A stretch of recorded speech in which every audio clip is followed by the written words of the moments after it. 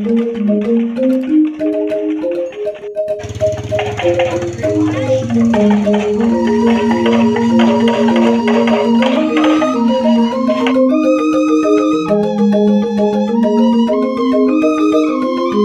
adalah proses latihan ucang-ucangan mulai dari latihan pakem, gerak, dan juga vokal.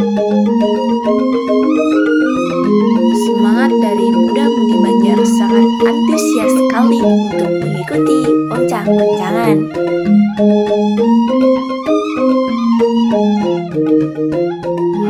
Salah satu tarian sakral yang dibawakan saat oncang-oncangan adalah tari janger.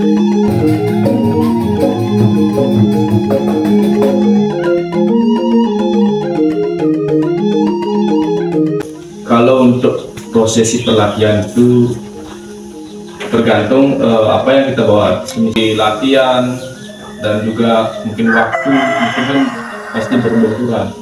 Dan Nike pun eh, memang memerlukan tapi juga biaya sangat eh, memerlukan waktu yang lama.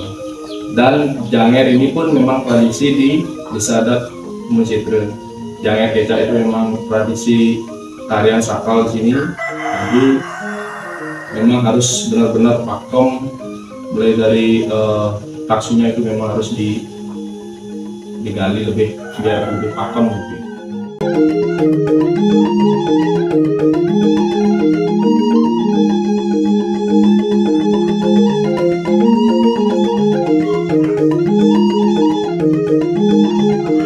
Oncang-oncangan nike, nike mewada uh, tradisi ngoncang jadi nyambut aci musabu dalam tahu sabu. Nah, aku nike kemargian sebelum uh, 10 hari sebelumnya kita pun mati.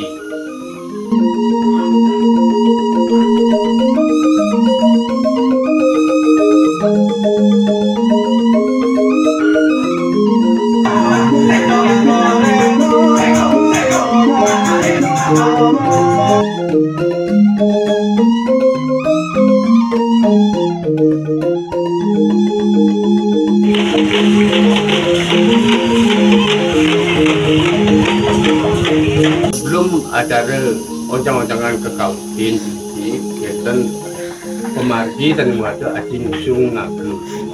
Itu ke pertama.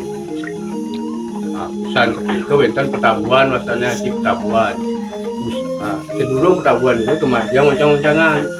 Nah oncang-oncangan itu surah dikiring tradisi adat mocitra lan selat itu pun memargi sakit mun itu waktu oncang-oncangan ke sakral ke tradisi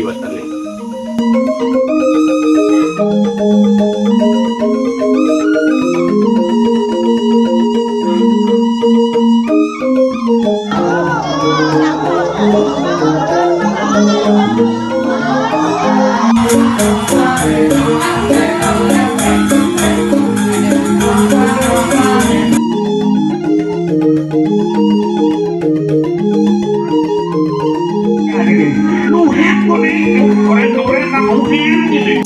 Tradisi ini memang sangat kental sekali dan sakral, terutama di desa selat khususnya di Banjar Adat masing-masing itu harus dijalankan seperti itu. Karena apa? Karena ini memang tradisi di daerah kita di desa selat. Eh, desa eh, apa namanya? Tradisi oncom-oncom ini kalau tidak dijalankan ini sangat artinya eh, ada dampaknya.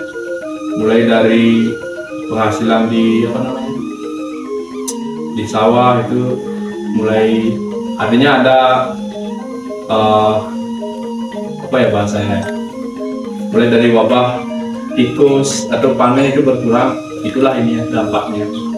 Dan oh, mulai dari mungkin ketua-ketua kita bilang eh, nyari kerja susah. Artinya penghasilan itu berkurang tapi kalau udah dijalankan ya karir pasti ada jalan dari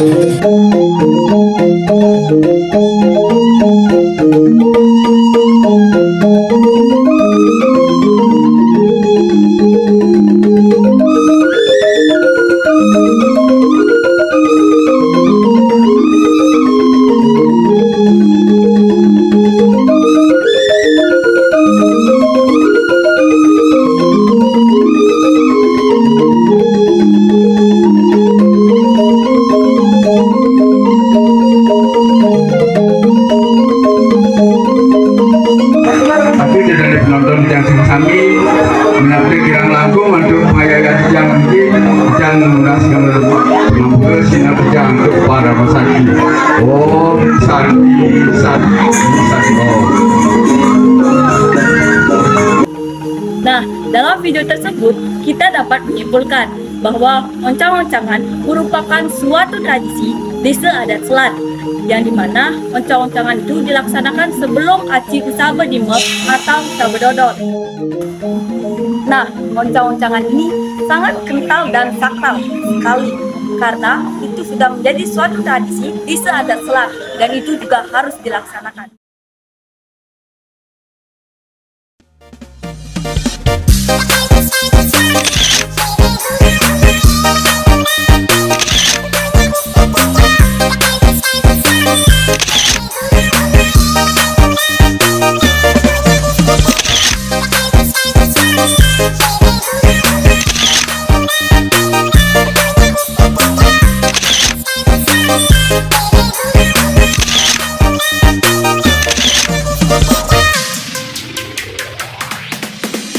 right